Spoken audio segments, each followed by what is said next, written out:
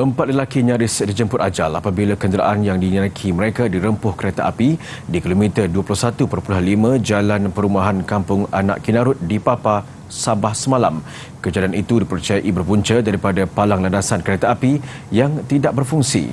Bagaimanapun pemandu kenderaan jenis Pro 2 Rusa yang berusia 42 tahun itu hanya cedera ringan dengan luka calar di kepala manakala tiga lagi penumpang tidak mengalami kecederaan.